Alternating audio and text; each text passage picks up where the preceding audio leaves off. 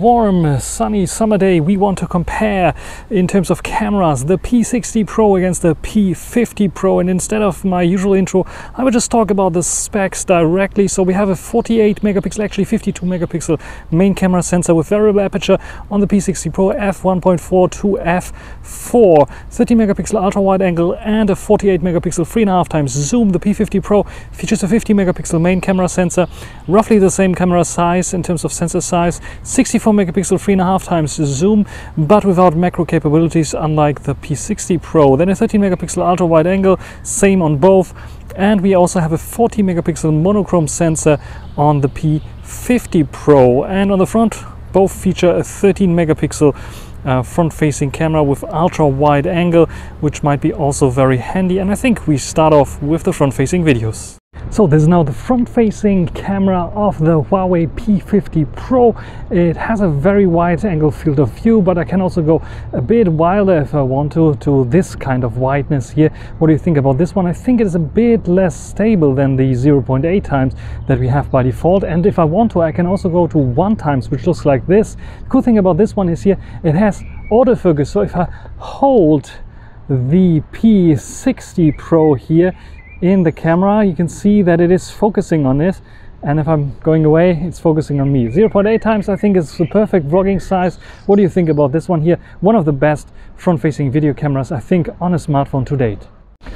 And now this is recording with the Huawei P60 Pro that also features a wide angle uh, 0.8 times which is the default and one times zoom on this one here. Also stabilization is quite okay on all of them. Even the white one as you can see here is quite stable which is quite interesting because I think on the P50 Pro and its initial firmware it was much more stable as well.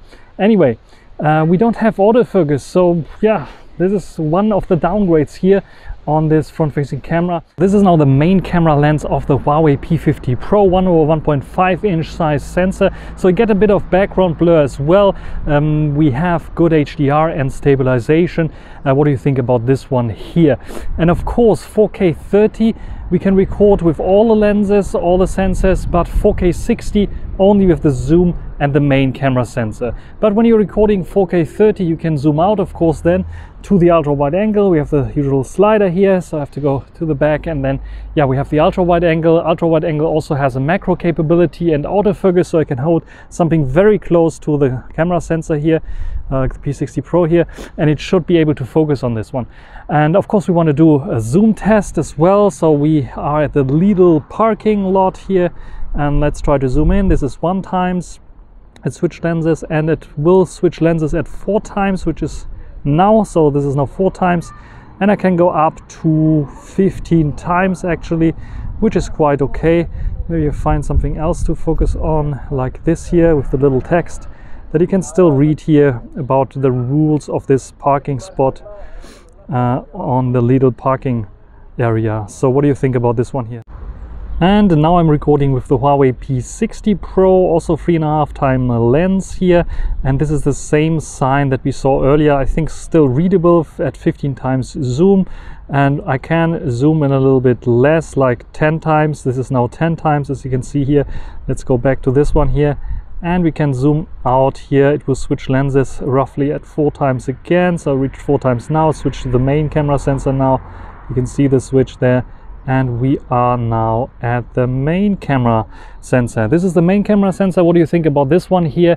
It has the variable aperture, so f2 is probably what it's recording here right now. It's a slightly larger sensor, 1 over 1.4 inch. Actually, I think it's 1 over 1.39 kind of inch. If it's the same sensor that's the Sony that the Sony Xperia 1 Mark 5 is using, and maybe it's also using this dual layer stacked CMOS sensor. I'm not so sure about this one, but yeah, it's a very nice sensor indeed, and you have this variable aperture that especially in the dark can open up further to bring in more light and give you a very good low light capabilities. 4K 30 I'm recording here with. Sadly, just like on the P50 Pro, I can only record 4K 60 on the zoom and on the main camera sensor. So if I want to go to the ultra wide angle, I have to record 4K 30. So I have still a slider to zoom out here at the 13 megapixel uh, camera sensor and I'm pretty sure this might be even the same camera sensor uh, than on the P50 uh, Pro. So what do you think about this one? And apologize for a little bit of uh, running nose because I have a bit of allergies here in this summer season. So what do you think about uh, this one here? Also, uh, let's try to do the macro test because it has also macro, macro capabilities and autofocus. Yeah, let's see if this is working as well as the P50 Pro or worse. So that's everything for the videos. Let's take a look at the photos. So here we go. On the left was the P50 Pro, on the right was the P60 Pro. We start with the ultra wide angle. Both feature 13 megapixels and it's basically the same sensor. You can see that they have the real focal length of 1.8 millimeters, f2.2 they're using ISO 50 and basically also almost have the same kind of shutter speed here. So I think it's the same sensor, but we can see a bit of a difference in terms of white balance and colors. So we have much warmer colors on the P60 Pro that are actually more accurate because the sky color looked like this, not so bluish. It was a completely different day on the P50 Pro than the P60 Pro, which is like more realistic. When it comes to the sides and sharpness there, both basically on par, not much of a difference, but the center sharpness is a bit of a difference. Here the P50 Pro is a bit better than the P60 Pro, even though the colors are a bit better on the P60 Pro. Look at the green grass maybe a bit more process on the P50 Pro. The P60 Pro is doing a better job. When it comes to the side here, we get a bit of haziness on the P50 Pro, but also more details in the shadows where the P60 Pro is crushing the shadows a little bit thanks to a higher contrast. So overall, I cannot give a win here. Both are basically on par, just a simply different difference in rendering. And I have to say, if I see this here also with a little bit less color punch in the yeah, in the wide, super wide angle shot here, I prefer the P50 Pro a little bit. When it comes to the main camera sensor, we can see a bit of better HDR on the P50 Pro here, but also a bit more process. Look at here, it's a bit softer on the P60 Pro. And when we can see the difference here, it's a bit more over processed on the P50 Pro, where we can see a little bit of a sharpening effect and stair effect here on the text that we don't see so much on the P60 Pro. So the P60 Pro has a bit less processing for sure. When it comes to macro photography, both feature macro photography, but super macro photography mode is only available on the P P60 Pro. The P50 Pro doesn't have this, but we have the ultra wide angle that can be used as a macro-like camera. You can see the P60 Pro is utilizing the telezoom camera for this kind of ability of 10 centimeters close-up shots, and it's much better, much more detailed, much more better bokeh, uh, not so overexposed as on the P50 Pro, and yeah, just simply better in every terms or ways. When it comes to the zoom lens, three and a half times zoom, a bit more haze on the P50 Pro, a little bit less processing and sharpness, where the P60 Pro is a bit sharper, less hazy, a bit too over processed. I prefer the P50 Pro because I can make it a bit sharper still, but the P60 Pro is so much over processed that I cannot make it a bit softer. When it comes to the zoom in for 10 times, it's changing a bit on the P50 Pro. It's getting, uh, getting a bit sharper and I prefer the P50 Pro here over the P60 Pro where we don't see much of a difference here, but you can see that the P50 Pro is a bit less processed, had the more correct color here, especially for the red, which yeah, the emergency uh, calling red is like this and not like this darker kind of red. And I think also the text is a bit clearer here on the P50 Pro. The difference in terms of like, yeah, how close we can get here is simply in the sensor that is used. We have a 16 megapixel photo here, thanks to the 64 megapixel sensor that is used here. And the P60 Pro is using 48 megapixels. I think on, on paper they're using the same kind of sensor, but it's cropped in on the P60 Pro to reach the three and a half times zoom by default, where the P50 Pro just has the three and a half times zoom here. I think this is done for the P60 Pro simply because they want to have the macro, macro capabilities that the P50 Pro is lacking. When it comes to 30 times zoom, I was also showing this on Twitter. It's a night and day difference. It's a generational difference. The P50 Pro is simply ways better than the P60 Pro. You can see it already. I don't have to zoom in, but even if I zoom in, you can see how much better the P50 Pro is here in every way and shape or form not even readable this is readable. Yes the p50 pro crashes crushes destroys the p60 pro when it comes to zoom 10 times and beyond and i can show it to you prove it to you. Yes we have 100 times zoom. Again the same kind of story i can show it to you here. Again different white balance. I think the ai detected sky color on the p50 pro where the p60 pro detected greenery and everything's a bit more yellowish but uh, when it comes to detail levels, yeah, it's a bit over sharpened, a little bit over processed on the P50 Pro, but it's working with much more details here, especially in the brickwork that you can see that is simply not visible on the P60 Pro. And yes, you can see the over processing here, especially where I would prefer maybe the less sharper kind of look that we have on the P60 Pro with the details that we have on the P50 Pro. Here, I have to give the win to the P50 Pro. It is more detailed, so the P50 Pro is winning 10 times and above zoom for sure against the P60 Pro. Three and a half times zoom, we have a slight difference here as well, a bit more sharpness added, a bit more processed kind of look, a bit more smartphone look on the P60 Pro. On the P50 Pro, a bit more haziness, a bit more softness uh, that it keeps there, a bit more like yeah, optical zoom kind of look, a bit more DSLM kind of look that you can see here that the P60 Pro doesn't have. So which one do you prefer? Choose your poison. I have to say I prefer the P50 Pro a bit better, though I think the processing here on the P60 Pro is a bit better for sure. When it comes to the main camera sensor, not much of a difference in terms of colors. There's a slight difference as you can see here.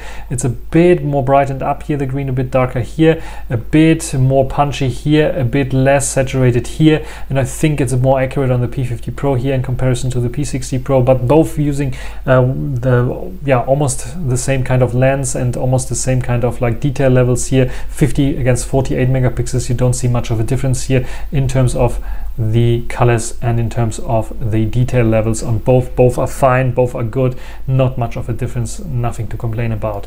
When it comes to the zoom lens indoors the zoom lens indoors on the p60 pro is simply better thanks to f1 2.1 that we have here. Look how sharp this looks like. I can even zoom in if you want to.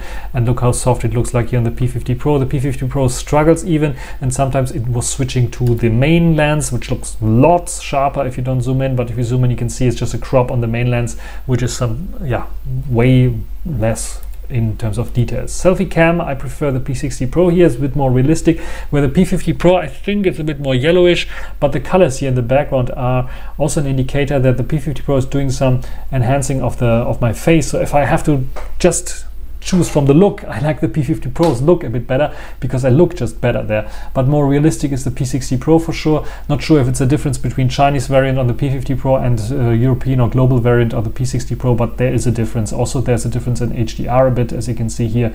This simply is something that you have to uh, mention. Otherwise, in the low light situation, dark situation with a bit more greenish and yellowish kind of tint on the P60 Pro, much brighter than on the P50 Pro that has a more of a magenta kind of tint. And uh, yeah, detail level is on par, I would say, but I would give this win to the P60 Pro. And the same goes for the ultra wide angle. This is the scene that I saw on the P50 Pro, and this is what the P60 Pro, even with the same ultra wide angle, can do in terms of uh, processing, which is quite nice. But yeah, it's very soft and yeah, not much better. Uh, zoom lens also much better on the P60 Pro. You can see also here slight difference in terms of processing here in dim lit situations, but I think basically on par, maybe even slight edge on the P60 Pro when it comes to dim lit situations because the processing processing just has improved a little bit there. And when it comes to the shots of uh, fast moving subjects like kids or dogs, like this one here, you get a bit of softness sometimes. You have the snapshot mode, which uh, is a bit faster on the P50 Pro than on the P60 Pro. The P60 Pro in general is having some issues when it comes to fast moving subjects and shutter speed. You can see here uh, that it is much better on the P50 Pro. I took this shot several times and the P50 Pro nailed it like uh, four out of five times where the P60 Pro uh, just failed in all of them, which is, uh, yeah, a bummer. Uh, sometimes if you get a shot sharp, it is a bit superior on the P60 Pro, but just a bit. Uh, low light with uh, neon lights, uh, there you can see overblown here, less overblown, might be aperture difference, might be sensor difference size here, there's a difference definitely. And when it comes to selfies at night, the P50 Pro has a different kind of night shot, so it's illuminating the screen or part of the screen and leaves a rectangle uh, for me to see myself. And then when I take the shot, it's just acting like a long light exposure because it's illuminating the whole screen in white for a few seconds and then taking the shot where the P60 Pro just illuminates the uh, screen uh, until there's one square and then just take the shot immediately without illuminating the whole screen for a few seconds. And you can see it in sharpness you can see it overblown highlights. It's just simply sharper on the P60 Pro. Here I like the P60 Pro better Uh, this shot here, I like the P60 Pro better. More details there, little dust particles that you can see. Also, the colors are more accurate, uh, even though the HDR is quite aggressive here on the P60 Pro, P50 Pro. A bit brighter here on the P60 Pro again, this night shot, and uh, looks a little bit like evening instead of nighttime. Uh, detail levels a slight bit better on the P60 Pro, but almost on par here. P60 Pro beats the P50 Pro. It looks like at different daytimes they uh, that I took those shots, but it was like a few seconds apart from each other. Noise on the P50 Pro, and here the f1.4 and larger uh, aperture and larger sensor are working nicely on the P60 Pro. It looks almost like it's done in the evening still. And yeah, here the difference in zoom lens again, even the night mode is not rescuing the P50 Pro and the ultra wide angle, a little less overblown than the P50 Pro, a little bit brighter, but also weird colors and a bit noisier on the P50 Pro, but a bit more smudged on the P60 Pro. I think I like the P50 Pro here a bit better because it's just like a bit overdone on the P60 Pro. Otherwise, when it comes to high-res shots, on first glance, it looks like the P50 Pro is winning because it looks less processed. These are 50 megapixel AI shots versus 48 megapixel AI shot.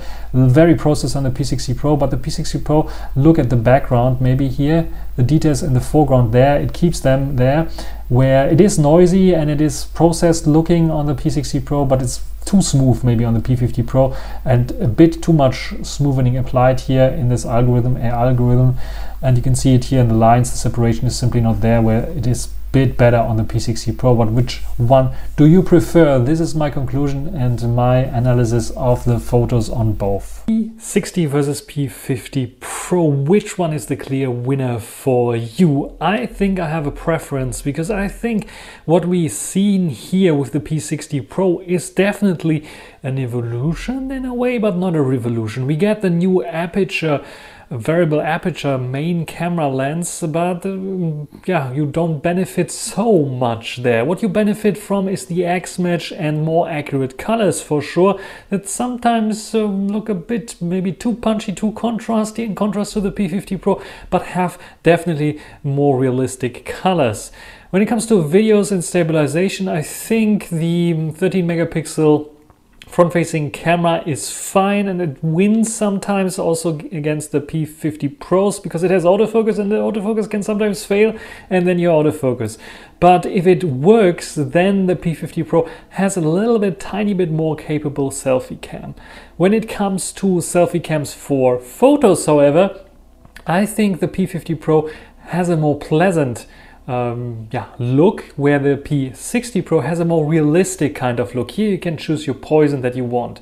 When it comes to the telezoom, however, very interesting because the P60 Pro is sacrificing its really zoom capabilities and larger zoom reach to the yeah, a little bit better tele macro capabilities that are definitely very interesting.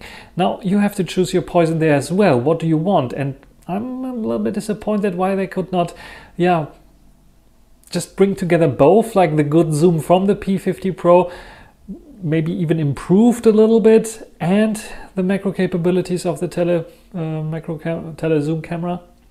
That's a bit of a yeah downer for me because we definitely have a worse zoom camera on the P60 Pro when it comes to 10 times and beyond zoom, where the P50 Pro definitely shines. And yeah, ultra wide angle, it's a matter of taste there. I think the P50 Pros uh, is in the center a little bit sharper. The rest is very, very the same, almost the same. It's better colors on the P60 Pro for sure. But yeah, what do you expected of those two smartphones and which one is the clear winner for you? I'm a bit disappointed by the P60 Pro, even though everyone is praising it. I still don't see the value for P50 Pro owner to switch to the P60 Pro because there's basically only literally one compelling reason better colors and telemacro capabilities but this is is this enough to capture you to capture your heart to capture your wallet to buy a p60 pro I don't know. Write down in the comment section what do you think about the, both of those devices. And that's everything for this video. Hope you enjoyed it. Thanks for watching. Until the next time. Bye.